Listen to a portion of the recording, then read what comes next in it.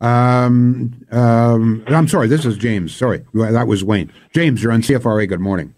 Good morning. Yes, sir. Uh, first of all, I think the, okay, the Khadr family, back when Chrétien was prime minister, had gone over to Pakistan, had claimed their entire passports to the entire family had been lost or stolen multiple times, and went to the Canadian embassy to have them replaced. The working theory, of course, is that they were like passing Canadian passports to Al Qaeda terrorists. When they came back to Canada, the uh, the entire fa- uh, Khadr family, except for Omar, but including the son that was crippled fighting jihad over in Afghanistan and Pakistan, gave us a little lecture. I think it was on Global News where they talked about how they hated Canada, that we were all gay and drug users, and she didn't want to bring her kids up here, but she would make the Canadian justice system pay for her son's uh, expensive rehabilitation. She also said that she would be very proud if some of her sons became martyrs, which means killed uh, innocent people. That's exactly correct. Yes. And uh, one one might notice that that clip is as difficult to find on the internet as is the 150 hours of David Suzuki warning us about nuclear winter in the 1970s. Somehow these clips, I mean, I watched those shows.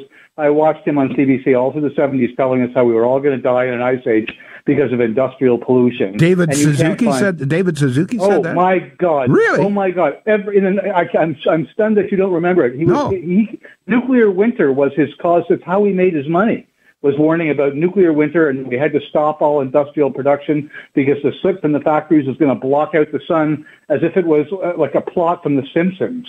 But but in any case, uh, the, the the the point is that these particular uh, inconvenient facts seem to get scrubbed. Well, now you have a good you, you have a good mind for for history here. Um, w- do you know what year it was? I remember that uh, Omar Khadr's father was in prison in Pakistan. And Chrétien went over and got him out. Yes. Chrétien personally. Well, he didn't get him out. He, he he obviously lobbied on his behalf because the father was released shortly after Chrétien's visit. right. Am I not correct in that? You are absolutely correct. Now, I'd like to speak about the specific. I mean, I, that's background. The specific issue you're bringing today, I think, needs a more of a meta level solution. The fact is, and this this is a, uh, this is going to cover a broad range of problems with these rel- related issues. The fact is, this is a military issue, not a criminal justice one. And I think that the Western world is torpedoing itself, and this especially goes for Obama when he had his troops read uh, uh, Taliban, captured Taliban Miranda rights. You cannot, like, the, when you're looking at a criminal justice situation in your own country, you, you, you know, there's all kinds of special rights and privileges uh, that are afforded to the accused. And that's as it should be, and I don't object to that because these people don't have a political agenda, which is an overall attempt to destroy us, our way of life, and our system itself. It's people acting in a criminal manner to advantage themselves financially as a general rule, right? All right. Now, this is the problem here is that we are at war with Islam and that Islam has declared itself. And you can go online and you can watch on YouTube probably 20 hours of massive schools of kids as young as seven and eight that are being trained, marched, drilled in weapons, and taught to kill the unbeliever.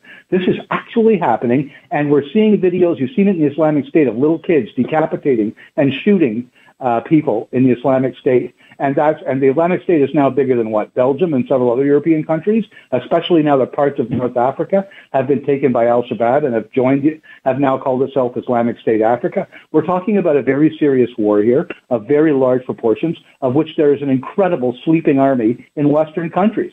And if we are going to look at this as a criminal justice system and discuss individuals like Khadr and give them $10 million and give them all the rights that you, you afford an actual regular criminal, we will lose. It will be over and our systems will be gone. This is, this is a fact of history. This isn't even alarmist. The, the, the fact that we've enjoyed a, a hundred years or so in the Western world since the end of World War One and the death of the Ottoman Empire of incredible, unparalleled freedom, liberty, growth, technology, and, and liberty of thought, that's the exception of history, not the rule. We're going back to the rule because people will not understand. There's a difference between a criminal justice approach to a problem and a military one. And if we don't take a direct, declare this war, recognize this war, and act and What you're saying, what you're saying footing- essentially is that there's a vast difference between a guy who holds up a bank, he just wants the money, and and a terrorist who wants the country. That's exactly correct. Thanks and for the that's call. the reason that there are different approaches to these problems. Thank you, James. Thank